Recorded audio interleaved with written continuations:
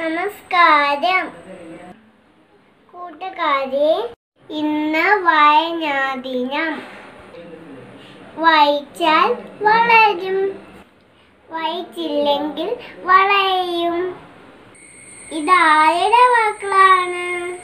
നമ്മുടെ പ്രിയപ്പെട്ട നമ്മുടെ കുഞ്ഞുണ്ണി മാഷ് പറഞ്ഞതാണ്. ഇന്ന് നമുക്ക് പത്രം വായിച്ചാലോ?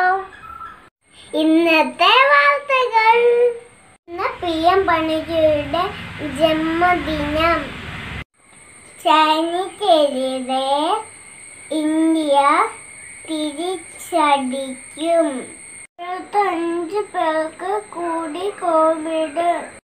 തിട്ടയ്ക്ക് ആശ്വാസമായി വാങ്ങി. കോവിഡ് പഞ്ചായത്ത് ഓഫീസ്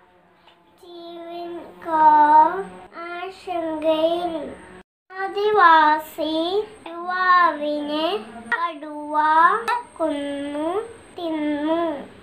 കൊച്ചി സ്റ്റേഡിയത്തിൽ വീണ്ടും വിവാദം.